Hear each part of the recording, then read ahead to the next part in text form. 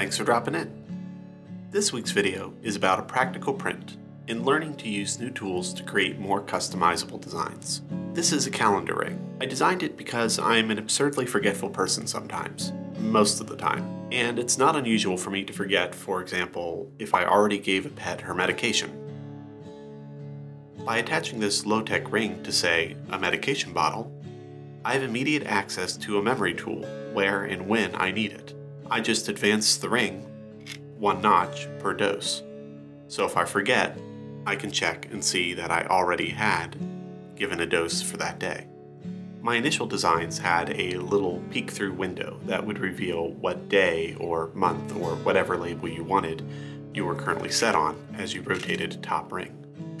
The problem with this design is it's so tall that if you were to add it to a medication bottle, you'd be covering up the label, and that is a recipe for danger. So I ended up scrapping this design going with something that was a much shorter profile. All the labels would be seen all at once, but a little indicator pointer would direct you to what the current set value is. At this point, I had been designing uh, the ring for a very specific medication bottle size, uh, which is great and all, but if I'm going to share this design with other people and have it be useful at all, I would need to model dozens or hundreds of other sizes, and that's just ridiculous. So even though I've been avoiding it for months, I finally had a very specific reason to learn a new modeling program geared specifically for this situation. I'm referring to a program called OpenSCAD. Unlike other CAD computer-aided design software, OpenSCAD is primarily programming based. Let's say you wanted to model a basic cylinder. In your typical CAD program, you'd probably just select a cylinder tool, click somewhere where you want the cylinder to be, draw its uh, diameter out, and then stretch it to whatever height you need. In OpenSCAD, you have to type in code that you want a cylinder and then you provide all those variables. And you can't just place that cylinder anywhere. You also need in code to specify where its position is. As you might have gathered, this can be a pretty tedious process to model something, and it's the main reason why I've avoided OpenSCAD up to now. But that tedium comes with a great strength. By having the model generated in code, you could provide that code to a completely other person, and they can put in just a few little variables to alter the entire model to fit their own needs. So in this case, I created a model that asks for the bottle diameter.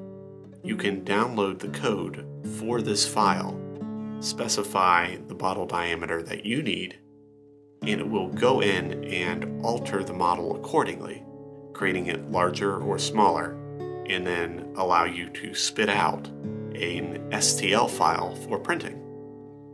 The files for this project, which I've shared on Thingiverse, has a whole load of customizations that you can set to it. Not only can you set the bottle diameter, you can determine the amount of spacing between this inner and outer part. It's a wider tolerance for easier printing. You can set a different height for this label area, or a different size for the font.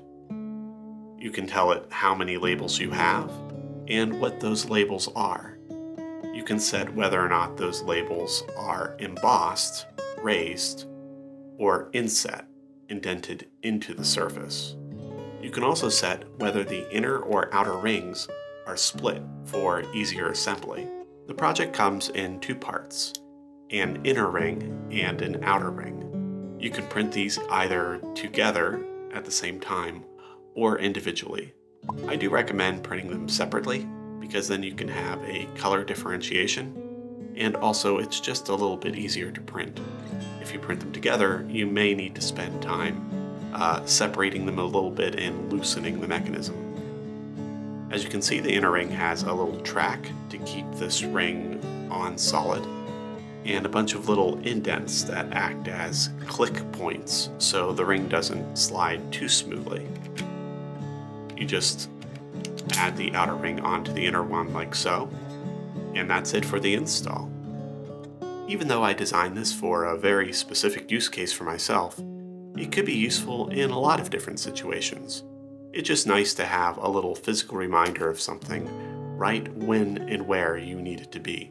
Much better than looking for a pen and pencil or wondering which reminder you put where on your cell phone. Over the last week of testing, this has actually turned out to be very helpful for me.